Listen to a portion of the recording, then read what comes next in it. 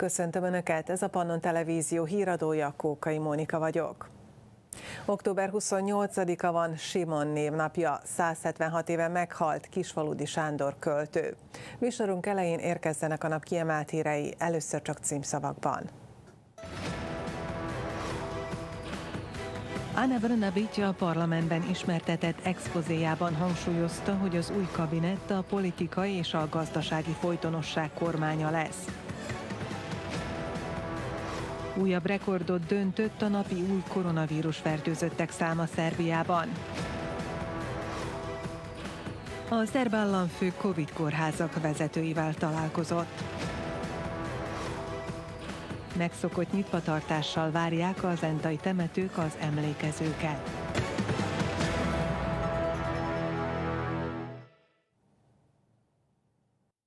A szerb kormány tagjai most teszik le esküjüket. Kapcsoljuk a szerb közmédia műsorát.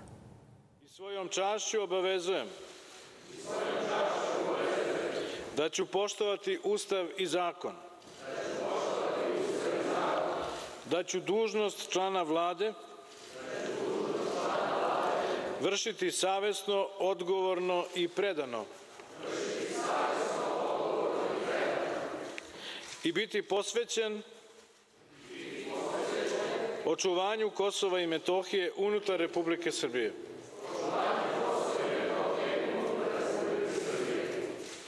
Molim predsednika, podpredsednike i ministre u vladi da potpišu i predaju tekst zakletve.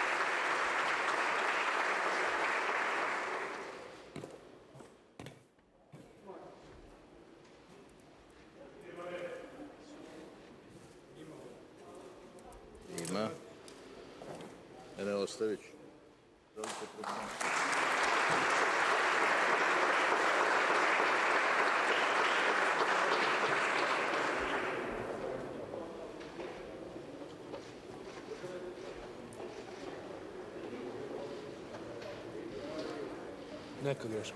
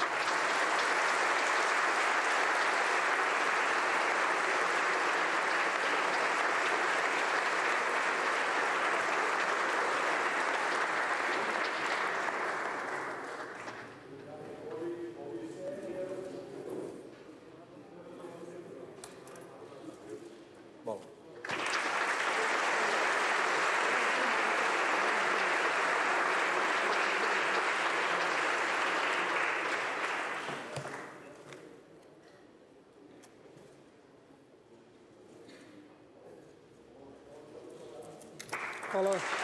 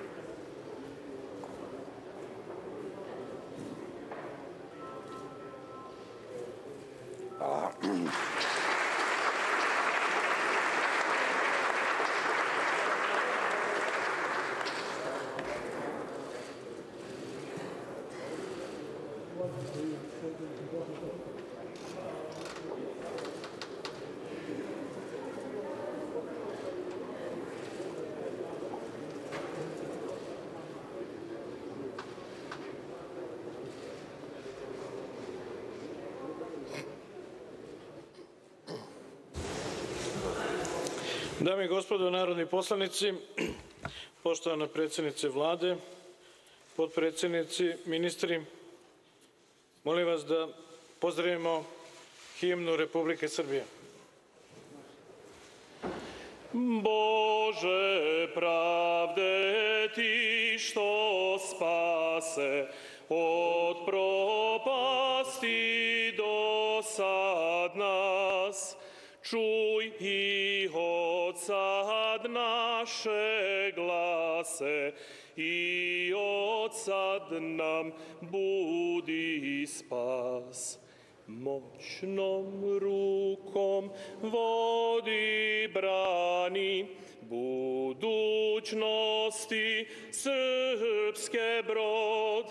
Bože spasi, Bože hrani, srpske zemlje, srpski rod.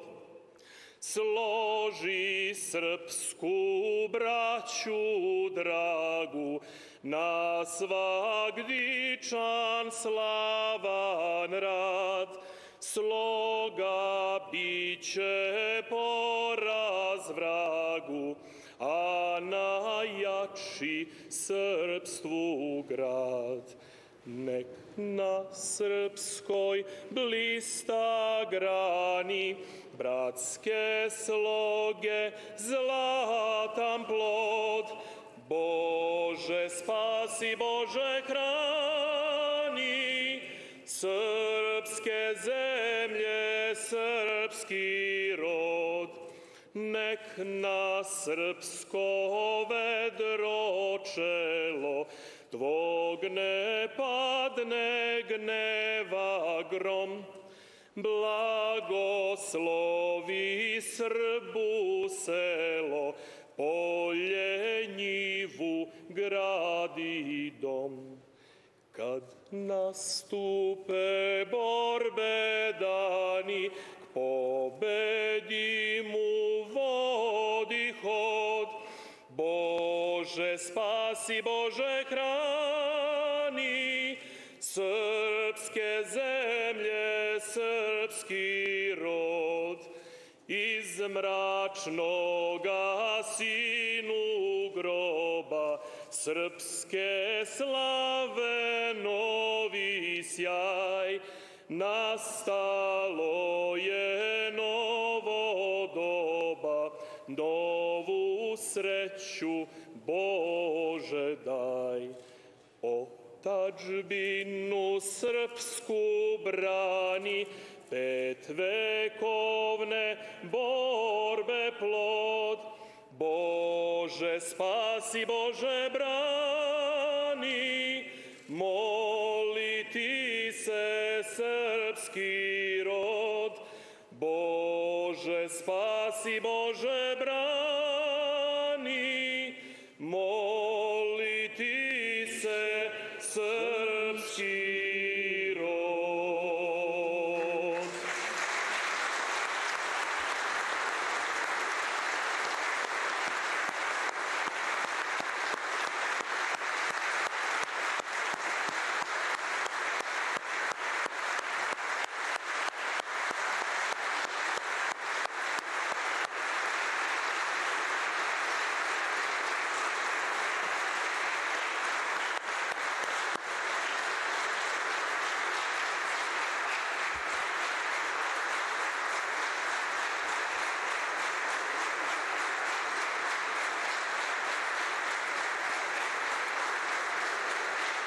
Dame i gospodo, pošto je Narodna skupština obavila razmatranje i odlučivanje o jedinoj tački dnevnog reda ove sednice, saglasno članu 102. poslovnika, zaključujem prvu posebnu sednicu Narodne skupštine Republike Srbije u 12. sazivu. Zahvaljujem svima na učešću.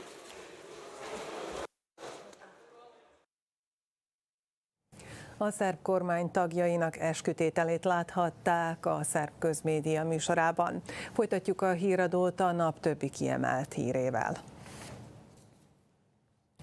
Megszavazta a parlament az új szerbiai kormányt Ana Brnabic vezetésével. A kabinettet rajta kívül 23 miniszter alkotja majd, közülük ketten tárca nélküliek. 227 képviselő szavazott igennel. A célokat Brnabic délelőtti expozéjában ismertette. A kormány kiemelt feladata lesz egyebek mellett a koronavírus elleni harc és a gazdaságfejlesztés is. Anna Bernabic szerda délelőtt még kormányalakítóként parlamenti expozéjában kiemelte, Szerbia többé nem a vereségeiről, hanem a győzelmeiről ismert. Az új kormány hat legfontosabb célja közé tartozik a koronavírus járvány elleni küzdelem, a Koszovóval folytatott párbeszéd, a szervezett bűnözés elleni harc fokozása, a jogállamiság megerősítése, a reformok gyorsabb végrehajtása és Szerbia gazdasági fejlesztése. Prvi prioritet pred ovom vladom je zaštita zdravlja ljudi i podrška našem zdravstvenom sistemu u borbi protiv koronavirusa. Pred nama su teški dani i pred nama je sigurno teška zima. Nažalost, pred nama je još jedna teška godina, 2021. godina, u kojoj ćemo morati da nastavimo ovu borbu. I mi, čitava Evropa i čitav svet. Mi očekujemo da će svet tek te 2022. godine moći da se vrati u kakvu takvu normalnost, a da će se u ekonomskom smislu svet od ove krize oporaviti tek 2029. godine. Éppen ezért Szerbiának mindent meg kell tennie, hogy gazdaságilag minél jobban megerősödjön, tette hozzá. Anna Bernabic beszélt arról is, hogy hatalmas fejlesztésekre kell számítani a szerbiai egészségügyben. Az új kormány a béke és a stabilitás megőrzéséért száll síkra, hangoztatta expozéjában. Szerbiának van egy 2020 és 2025 közötti fejlesztési terve, amely mintegy 14 milliárd euró összértékű beruházásokat lát elő. 2025 végére az új kormány célkitűzése, hogy a szerbiai átlagbér 900, az átlagos nyugdíj pedig 430-440 euró legyen. A telekommunikáció fejlesztésének fontosságáról is beszélt Ana Brnabic. Pored ovih puteva koje smo već izgradili, koje gradimo, moramo da gradimo digitalne puteve. Šta to znači? Pa to znači da obezbedimo kvalitetan internet, u svakom selu u Srbiji, u svakom nasilju, u svakom domaćinstvu u Srbiji. U 21. veku to je minimum, ljudsko pravo, kao struja i voda. Külön stratégiát dolgoz ki az új kormány a mesterséges intelligencia fejlesztésére, ígérte Anna Bernabic. Azt is elmondta, hogy eljött az ideje, amikor a környezetvédelem felé kell fordulnunk. A cél a polgárok életminőségének javítása. A szennyvíz és a levegő minőségét említette, ezek terén jelentős beruházásokat terveznek. Ami a szociális politikát illeti, azt mondta, hogy kiemelt jelentősége lesz a szociális kártyák kidolgozásának, amelyek javítják majd a szociális juttatások ellenőrzését. A nemzeti jelentőségű művelődési beruházásokról is beszélt. Moramo da završimo konačno Narodno pozorište u Subotici, pokrenemo čitav niz novih projekata. Most nézzük a miniszterek névsorát, akik Anna Brnabic kormányfő mellett dolgoznak majd. Színi Samáli pénzügyminiszter, Angelka Atanaszkovics gazdasági, Branislav Nedimovics mezőgazdasági, Irena Vujovics környezetvédelmi, Zorana Mihajlovics energetikai és bányászati, Tatjana Mátics telekommunikációs, kereskedelmi és idegenforgalmi, Zlatibor Loncsár egészségügyi, Gordana Csómics emberi és kisebbségi jogi és társadalmi párbeszédet irányító, Alexander Vulin belügyminiszter miniszter, Nebojsa Stefanovics védelmi tárcavezető, Nikola Selakovics külügyminiszter, Maja Popovics igazságügyminiszter, Dária Kiszics Tepavcevics szociális és munkaügyi tárcavezető, Ratko Dmitrovics család és gyermekvédelemmel, valamint demográfiával foglalkozó miniszter, Maja Gojkovics művelődési tárcavezető. Milan Krkobabics falu és vidékfejlesztési miniszter, Vanya Udovicsics ifjúsági és sportminiszter, Jadranka Joksimovics európai integrációért felelős miniszter. Tomislav Momirovics építésügyi, közlekedési és infrastruktúrális tárcavezető lesz. Maria Obradovics az államigazgatási és helyi önkormányzati miniszteri posztot tölti be. Az oktatási miniszteri poszt Bránko Rúzsicsé lesz. Nenad Popovics és Novica Toncsev pedig tárca nélküli miniszterek lesznek. Anna Brnabics expozéját követően a köztársasági parlament elnöke Ivica Dacic megnyitotta a vitát az új kormány programjáról és összetételéről. Dragan Markovics Palma, az Egységes Szerbia parlamenti frakció vezetője elmondta, hogy pártja az új kormányra szavaz, és ennek egyik fő oka a dinár több mint nyolc éven át tartó folyamatos stabilitása. Hozzátette, hogy a katonaság, a rendőrség, az igazságszolgáltatás, az oktatás és az egészségügy fontosak egy erős állam számára, már pedig ezeken a területeken kiváló eredményeket ért el az ország. Branimir Jovanovics, a szerbiai szociáldemokrata párt köztársasági parlamenti frakcióvezetője azt mondta, ők is támogatják az új kormányt. Mi se kao društvo u ovom vremenu nalazimo pred velikim izazovima. I zato moramo zajedno, uz mnogo rada, upornosti i odgovornosti pre svega, da budemo u interesu svih građana Srbije. A to možemo postići jedino svi zajedno ovde uz jedinstvo, uz solidarnost i uz uvažavanje političkih razlika koje neminovno postoje. Jedino tako ćemo i sačuvati entuzijazam i veru građana u sigurnu budućnost. Dr. Pásztor Bálint szerint a mostani a folytonosság kormánya lesz, amely képes lesz szembenézni az egészségügyi, gazdasági és biztonsági kihívásokkal. A VMS köztársasági parlamenti frakció vezetője azt mondta, egészséges lakosság nélkül nincs erős gazdaság, az erős gazdaság pedig szavatolja az ország biztonságát. Ugyanakkor a polgárok biztonságérzete az egzisztenciális jólétükkel együtt növekszik. A biztonságot említve azonnal rátért az országot érintő és sújtó migráció migrációs válságra is. Dr. Pásztor Bálint kiemelte, hogy az előző összetételő kormány által hozott egyes intézkedéseknek köszönhetően az illegális bevándorlással leginkább sújtott határmenti települések polgárai nagyobb biztonságban érezhették magukat. Arra kérte a most felálló kormányt, hogy tegyen meg mindent, hogy ez megint így legyen, mert egyes települések lakossága ismét félelemben él.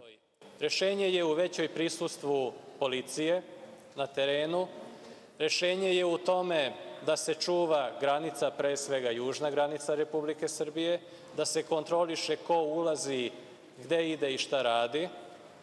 I u prethodnim mesecima i godinama su bili sastanci kada su određene kada su određeni predstavnici određenih nacionalnih manjina protestovali zbog toga što su oružane snage bile poslate na područje gde žive, određeni, gde žive pripadnici određenih nacionalnih manjina. Azt üzente Anna Bernabicsnak, Nebojsa Stefanovicsnak és Alexander Vulinnak küldjenek rendőröket és a csendőrség tagjait azokba a térségekbe, ahol sok a migráns, sőt, ha kell, a katonaságot is vessék be, mert a magyar nemzeti közösséget nem zavarja a fegyveres erők jelenléte. Sőt, örülnének annak, hogy az illegális bevándorlók által okozott gondoknak útját állják. Erre főleg Északbácskában, Északbánátban és Nyugatbácskában lenne szükség. Az államnak ugyanis meg kell akadályoznia, hogy saját saját polgárait terrorizálják a migránsok, mondta dr. Pásztor Bálint. Beszédében a VMS köztársasági parlamenti frakció vezetője sok sikert kívánt az új kormánynak, amelynek munkájában államtitkári szinten szeretnének a jövőben is részt venni. Az új kormány összetételről folytatott parlamenti vitában dr. Pásztor Bálint frakcióvezető mellett a Vajdasági Magyar Szövetség két másik köztársasági képviselője is felszólalt. Vicsek Anna Mária elsősorban a nemzeti közösségekről, Juhász Attila pedig mezőgazdasági kérdésekről tájékoztatta képviselőtársait.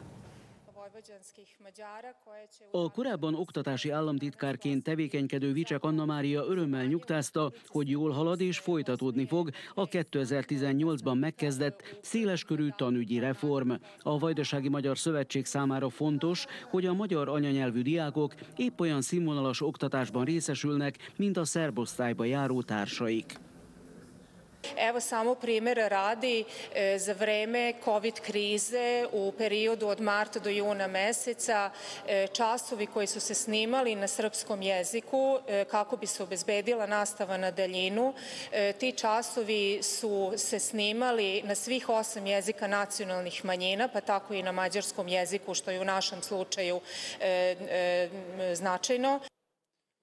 Juhász Attila, aki az előző kormányban mezőgazdasági államtitkár volt, azt ecsetelte, mekkora lépéseket tettek a mezőgazdaság fellendítése érdekében. Fontos azonban, hogy a most felálló kormány megoldja a mezőgazdasági termelők nyugdíjbiztosításának kérdését a bejegyzett gazdaságok nagyságának függvényében. Što se tiče planova, mislim da je u ovom dolazećem periodu od izuzetnog značaja da se i dalje podržavaju mladi poljoprivredni proizvođači. Moramo pomagati i dalje u radu sva udruženja poljoprivrednika, osnažiti i što više pomagati porodična poljoprivredna gazdinstava. A posztján maradó Branislav Nedimovics mezőgazdasági miniszter a biztosítéka annak, hogy a mezőgazdaság fellendítése folytatódik majd, szögezte le a Vajdasági Magyar Szövetség köztársasági parlamenti képviselője. A tartományi kormány lendő összetételéről beszélt ma Igor Mirovic kormányalakító Dusán Bajatovicsal és a Szerbiai Szocialista Párt Egységes Szerbia koalíciós lista képviselőivel. A találkozó után Mirovic elmondta, hogy az új tartományi kormányban az előbbiekben említett lista is a hatalmi többség része lesz. Hozzátette, ami a tartományi kormány összetételét illeti, ismét egy elnök és 13 titkár lesz. A programot és a pontos összetételt Igor Mirovic Mirovics holnap ismerteti a tartományi képviselőház ülésén. Összefogásra és nem széthúzásra van szükség a tartományi parlamentben, áll Pásztor István Facebook bejegyzésében. Csütörtökön kétszer is ülésezik a tartományi képviselőház, ezért ma délelőtre összehívtam az elnöki kollégium alakuló ülését, írta a tartományi képviselőház elnöke. Az elnöki kollégium legfontosabb feladata a képviselőházi ülések előkészítése. Pásztor szerint a változó világ körülményei, ahogyan a lakosságot, úgy a demokratikusan választott vezetőket is új kihívások elé állítják. Személyes meggyőződésem, hogy a tartományi képviselőházban is csak összefogással a politikai különbségeken felülemelkedve lehetünk sikeresek, áll Pásztor István bejegyzésében. A folytatásban azt írja, nem politikai csatározásokra, hanem szoros együttműködésre, erőink összpontosítására lesz szükség az előttünk álló időszakban. A tartományi képviselőház elnökeként ennek a munkának az irányításában szeretnék sikeres lenni. Összefogással messzire juthatunk, sőt csak összefogva lehetünk igazán sikeresek, írja Pásztor István Facebook oldalán.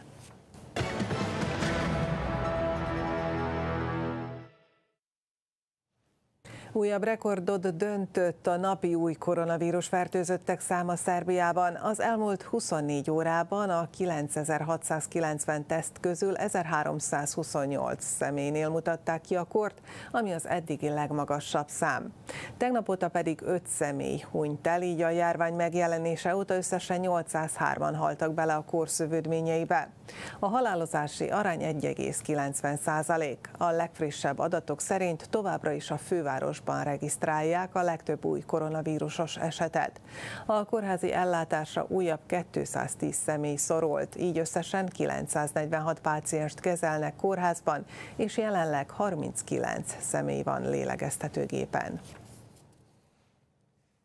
Nem lesznek szigorítások Szerbiában, de komoly és szigorú büntetésekre számíthatnak azok, akik nem tartják be a jelenlegi intézkedéseket, mondta ma a szerb államfő.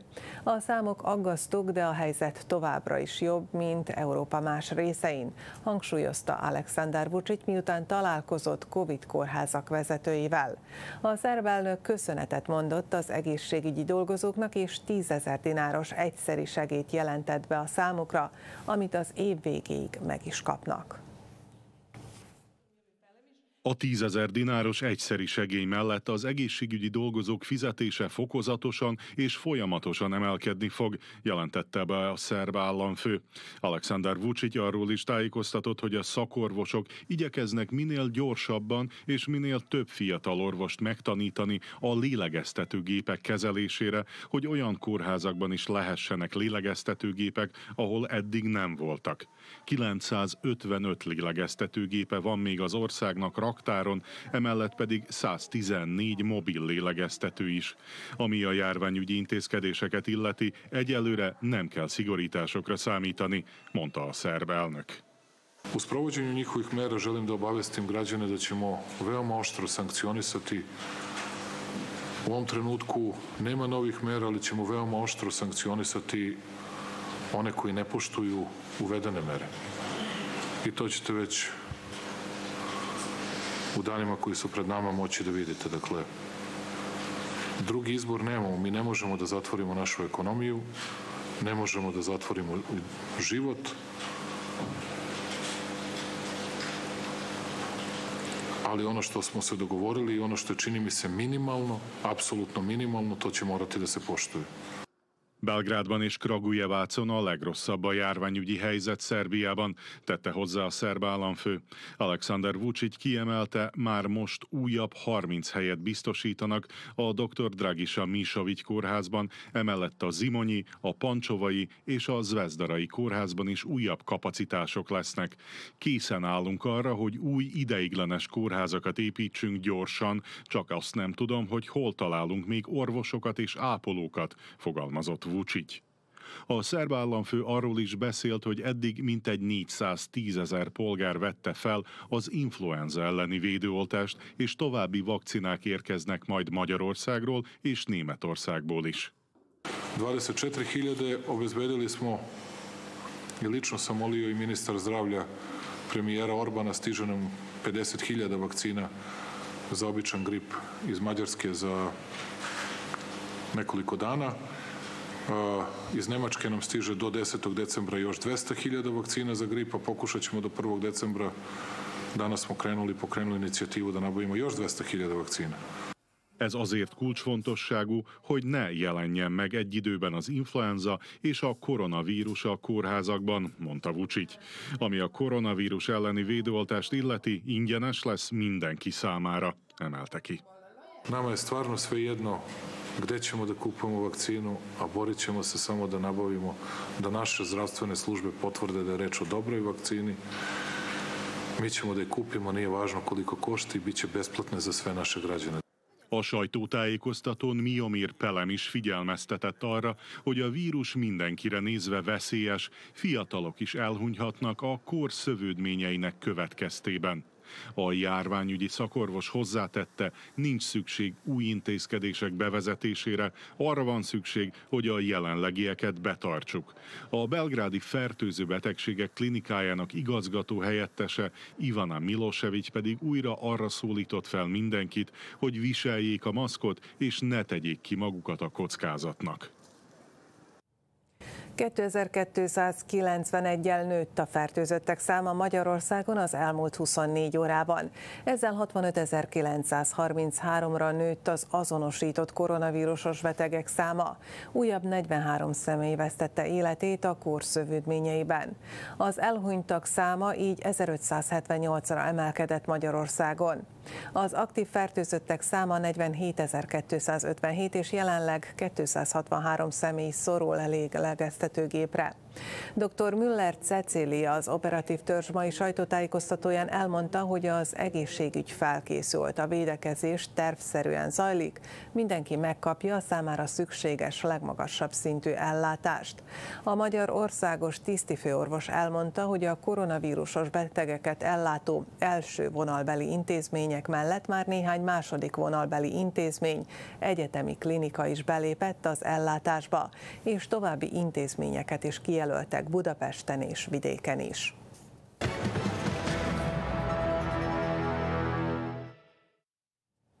Január 1-től akár 10 millió forintos támogatást is kaphatnak a gyermekvállalás előtt álló vagy már gyermeket nevelő fiatalok új többgenerációs otthon létrehozására Magyarországon, jelentette be Novák Katalin.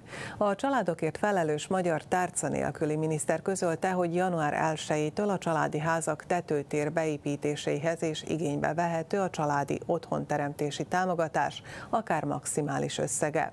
A miniszter gyakori élethelyzetnek nevezte, hogy egy családban a családi ház tetőterét beépítené egy fiatal pár, hogy ott neveljék gyermekeiket. Egy gyermek vállalása vagy nevelése esetén 600 ezer forintot, két gyermek esetében 2,6 millió, három gyermek nevelése vagy vállalása esetén 10 millió forintot vehetnek igénybe, vissza nem fizetendő támogatásként mondta. Novák Katalin közölte a több generációs otthon létrehozásának támogatása kizárólag a tetőtér beépítésre vonatkozik. Hozzáépítés esetén bővítésre vonatkozó csokkot lehet igényelni. Levélben gratulált Orbán Viktor magyar miniszterelnök Brenzovics Lászlónak, a Kárpátaljai Magyar Kulturális Szövetség elnökének a szervezet hétvégi választási sikeréhez. A magyar miniszterelnök levelében kiemelte, hogy a megvédett, illetve újonnan megszerzett polgármesteri és képviselői mandátumok fontos garanciát jelentenek arra, hogy az elmúlt években Kárpátalján zajló fejlesztések tovább folytatódjanak. Orbán Viktor levelében hozzátette, hogy ezek az eredmények világosan megmutatták azt is, hogy a kárpátaljai magyarság büszke ezer éves gyökereire, és saját kezébe véve jövőjét meg is akar maradni saját szülőföldjén magyarnak. Nézzük, milyen témák lesznek még a híradó folytatásában. A szabadkai gázművek értesítése szerint szerelési munkálatok miatt holnap szünetel a földgázszolgáltatás. Váltakozóan napsütésre és felhős égboltra számíthatunk a napokban.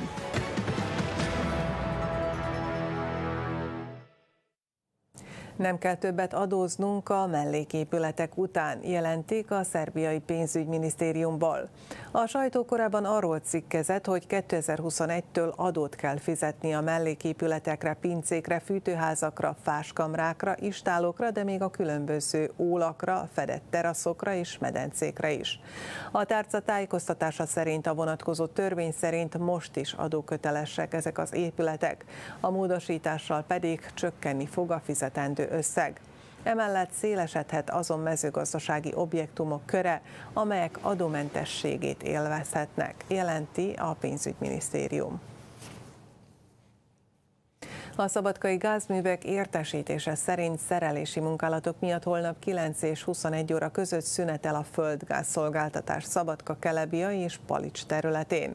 A gázvezeték javítási munkálatait a szerbiai gázművek szakemberei végzik. A javítási munkálatok miatt a szabadkai távfűtőművek szolgáltatása is szünetel ezen a napon 7 óra 30 és 22 óra között az egész város területén. A tervek szerint a távfűtés szolgáltatás pénteken a reggeli órákban áll helyre. A közösségi médián röppentek fel azok a találgatások, amelyek szerint nyitva lesznek-e az entai temetők minden szentek és halottak napján. A sírkertek gondozói cáfolták a találgatásokat, és mindenkit megnyugtattak. A megszokott időben látogathatják az elvesztett szeretteik nyughelyeit a lakosok. Zentán két katolikus temető várja az emlékezőket november 1-én és 2-án. A Zsitopromet mellett lévő felsővárosi temető a helyi kommunális és lakásgazdálkodási közvállalat irányítása alatt áll. Szlávnik Ákos, a cég kereskedelmi igazgatója elmondta, hogy 7 és 19 óra között látogatható a temető az ünnepnapokon is, a járványügyi előírásokat betartva. Ajánlott a maszk viselet, szóval azok a látogatók, akik eznap meglátogassák a temetőt, kérjük, hogy a, a maszkot viseljék. Ez ajánlott, nem kötelező, de ajánlott nyílt területen. Ez mellett a, azt a minimális pár méteres távolságot tartsák még a kedves látogatók egymás közt, mivel szeretnénk ugye egymást megvédeni, ugye tiszteletbe tartani. A másik katolikus temető a vásártérnél lévő Szent Anna temető. A Jézus szíve plébániához tartozó sírkertben már javában folynak az előkészületek. Rászabó István, a templom koordinátora elmondta, hogy a polgárok reggel héttől sötétedésig látogathatják ezt a temetőt. Hozzátettem, hogy erősen ajánlott a maszk viselése és a csoportosulás kerülése. Felhívja a polgárok figyelmét, hogy ezeket a szabályokat ne csak az ünnepnapokon tartsák be. Illetve még arra szeretnék megkérni mindenkit, temetés alkalmával a hozzátartozók tartsák be a maximumos, a maximum létszámot, tehát ami 30 fő, Sajnos ezeket a szabályokat nekünk is tiszteletbe kell tartani, és nem tudunk kivételt tenni. November 1-én és 2-án megnövekedett forgalomra lehet számítani a temetők környékén, így amellett, hogy az egészségünkre vigyázunk, fokozottan ügyeljünk a biztonságos közlekedésre is. A továbbiakban is együttműködik a Magyar Nemzeti Tanács és Topolya önkormányzata. Az MNT képviselői Szatmári Adrián polgármesterré választása óta első alkalommal tettek látogatást a Topolyai önkormányzatban. Az MNT-vel eddig is jó kapcsolatot ápolt a községi vezetés. Egyebek mellett az MNT támogatásával cserélték ki a Bácskosút falvi pacséri és topolyai óvodák nyílászáróit. Bácskosút falván korszerűsítették az iskola számítását technikai termét, Zentagunarason pedig visszakerült a színház a közösséghez. A mostani találkozón Topolya község kulturális és közösségi életének alakulásáról, a jövőbeni tervekről és célokról egyeztettek a felek. A Tokpolyai önkormányzatban a találkozón részt vett Hajnal Jenő, az MNT elnöke, Nyerasz Anikó, az MNT végrehajtó bizottságának elnöke, Lulics Emil hivatalvezető, Sutos Áron, a VMMS elnöke, Szatmári Adrián polgármester és Tomik Nimród, a községi képviselőtestület elnök helyettese. Megkezdődött az új érettségi rendszer tesztelése Szerbiában. Szerda délelőtt az anyanyelvi feladatlapokat töltötték ki a diákok. Összesen 101 iskola vesz részt a projekt tesztelésében. Az új rendszer szerint 2022. júniusában fognak először érettségizni a diákok. Az Állami Vizsga Érettségi nevű projekt a 2016-17-es tanévben kezdődött meg. Ez egy Európai Uniós program, amelynek a vége 2022-ben lesz, amikor az első ilyen érettségit fogják tenni a diákok. Az általános oktatást végző intézményekben, mint például a gimnáziumokban, az állami érettségi, míg a szakközépiskolákban és a művészeti iskolákban a záróvizsga elnevezést kapja majd. A projekt tesztelésében részt vesz a Zentai Gimnázium is. Gyulai Lilla az intézmény általános szakának harmadikos diákja úgy véli, a teszt nem volt nagyon nehéz, azonban akadtak olyan feladatok, amelyek próbára tették őket. Volt szövegértés, illetve voltak nyelvtani feladatok, amiknél ki kellett javítani a nyelvtani hibákat, illetve volt olyan, hogy pótoljuk be a hiányzó ragokat, vagy voltak ilyen értelmezői feladatok, amik, amik ugye az iroda, vagyis a nyelvtanhoz kapcsolódtak. A jövőben még szigorúbb szabályok fogják jellemezni az érettségi lebonyolítását. Ami a nyelveket, illetve az anyanyelvet illeti, ott csak is golyóstolat használhatnak, még grafitceruzát sem vihetnek magukkal be a diákok. A matematikát illetően kicsit más a helyzet, ott ö, számológépet mindenképpen használhatnak, ami egy nagyon fontos információ. Ezek közül is csak azok vihetők be, amelyek ö, nem programozhatóak, tehát úgymond nem tudnak függvényeket ábrázolni, vagy esetleg részletesebb egyenleteket megoldani. Az eddigi érettségi nem tette lehetővé a diákok számára, hogy eldöntsék alap, közép vagy emelt szinten szeretnének-e érettségizni. Emellett a tantárgyak száma is korlátozva volt. Most viszont választhatja a tanuló, hogyha ő egy komolyabb egyetemre akar, egy nehezebb egyetemre, ahol nagyobb, nagyobb lesz a felvételi követelmény, hogy akkor emelt szinten teszi le azt az érettségi, azt a két érettségi tárgyat, amivel esetleg majd felvételizhet az egyetemeken, vagy pedig alapszinten rakja azokat a tárgyakat, ami nem lesz a számára olyan fontos, csak az osztályzat lesz nagyon fontos, hogy mondjuk meglegyen ez az ötös az átlaghoz. A Zentai Gimnázium diákjai csütörtökön a matematika tesztet, míg pénteken a biológiát fogják megírni. A jelenlegi koronavírus világjárvány mellett az éghajlatváltozás a legnagyobb kihívás, amelynek az emberiség az utóbbi években ki van téve. A klímaváltozással való szembesülésről tartottak ma panelbeszélgetést Újvidéken az Ecovest Újságírók Egyesületének szervezésében a Környezetvédelmi Minisztérium támogatásával. Évről évre dőlnek meg a hőségi rekordok, világszerte lángolnak erdők, olvadnak a gletszerek és a permafrost. A klímaváltozás közvetlen hatásai egyéb gazdasági, politikai és társadalmi következményekkel is járnak. Ezzel a valósággal és a kihívásokkal szembesülni kell és cselekedni, hívják fel a figyelmet a tudósok és a szakemberek. Cilj organizovanja e, panela je upravo da upoznamo građane i javnost e, sa onim što se trenutno e, dešava sa klimatskim promenama na globalnom nivou, ali i sa klimatskim promenama kojima je izložena naša zemlja. Činjenica je da da smo mi osetili posledice već klimatskih promena. Az egész bolygón változik az éghajlat, amire több mutató van, de a legszembetűnőbb a hőmérséklet folyamatos növekedése. Az emberi tényező hatása 100% feletti, elsősorban az energiaszektoron a szénre, kőolajra és gázra alapuló energiakitermelésen keresztül. Danas kad se obračunaju te globalne emisije ugljen dioksida koji je glavni kontributor ovom, ovom problemu, najveći deo, znači 70-80% naših emisija dolazi iz tih sektora i danas smo mi zbog toga, pošto to već traje 100 i nešto godina, povećali koncentraciju ugljen dioksida u atmosferi za 50% u odnosu na preindustrijski period. Tako da smo mi u tom smislu drastično promenili hemijski sastav atmosfere i tu komponentu koja se zove efekt staklene bašte, koja je inače prirodna, dodavanjem ugljen dioksida mi smo pojačali malo efekt staklene bašte i zbog toga se naša planeta zagrela. A szélsőséges időjárási viszonyok hosszú távon szárazságokat fognak okozni. Teljes ökoszisztémák, vizes élőhelyek, növény- és állatfajok eltűnésére számíthatunk. Osim na prirodu i ljude, e, naravno uticat će na nivoje vode koji će biti važni i za poljoprivredu, ali tu je kompleksno, jer šume su nam bitne, e, hrana nam je bitna, imat ćemo nestašicu hrane u budućnosti zbog klimatskih promena. Jedan od glavnih razloga je osim same temperature i nedostatak oprašivača. Minden válság hátterében az áll, hogy több erőforrást használunk, mint amennyi a rendelkezésünkre áll. A természetet óvni kell, hogy enyhítsük a klímaváltozást, és hogy alkalmazkodjunk is hozzá. A 300 g-nál nehezebb sünöknek nincs szükségük segítségre ahhoz, hogy átvészeljék a téli álom időszakát. Hívja fel a figyelmet a budapesti fővárosi állat és növénykert. A közlemény szerint a nyári szaporodási időszak végén született emlősök jellemzően nem képesek a hideg beköszöntéig elérni azt a fejlettséget és tápláltságot, amelyre a téli álomhoz szükség lenne de a nagyobb sünök egyáltalán nincsenek veszélyben.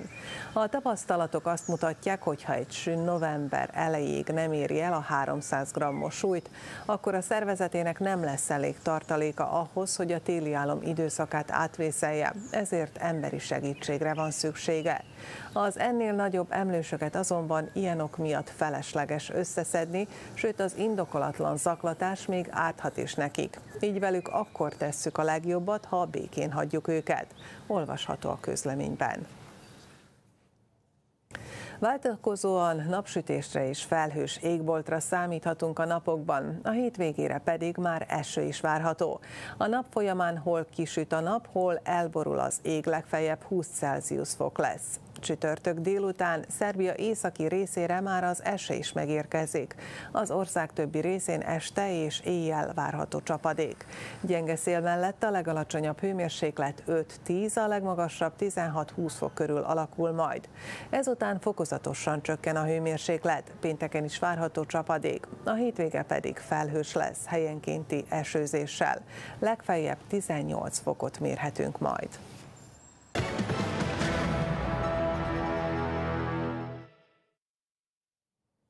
Ma este 9-kor a Ferencváros a Dinamo Kijevvel játszik a labdarúgó bajnokok ligája G csoportkörében. A Fradi ezúttal reális győzelmi esélyekkel lép pályára. Az is az FTC esélyeit növeli, hogy a Dinamo két kulcsjátékosa pozitív koronavírus teszt miatt nem játszhat ma este. Eddig tartott a híradó, a nap kiemelt hírei jönnek még egyszer röviden.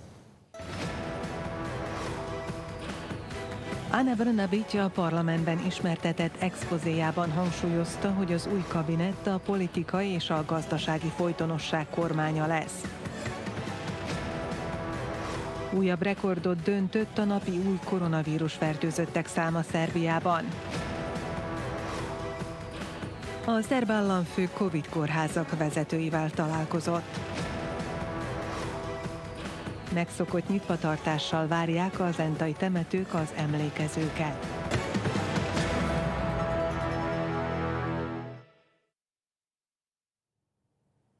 Köszönjük figyelmüket! A panonártv.com-on még több hírt és információt láthatnak, de bejátszásainkat is visszanézhetik. Most a Kortárs Vajdasági Magyar Szerzők felolvasó színházán készült felvételünk következik. A viszontlátásra!